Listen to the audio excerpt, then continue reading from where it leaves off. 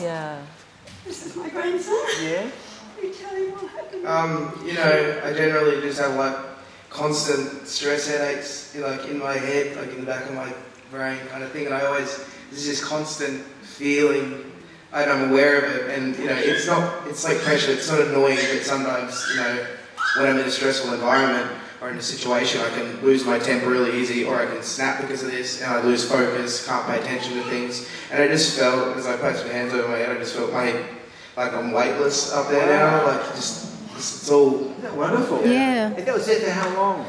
Oh, I just had that for ages. It's just like one of the things I've grown up with. You've got kind of. got sort like a oppression, heaviness too over yeah, you. yeah, like that. Wow. Isn't that wonderful? Touch him. Wow.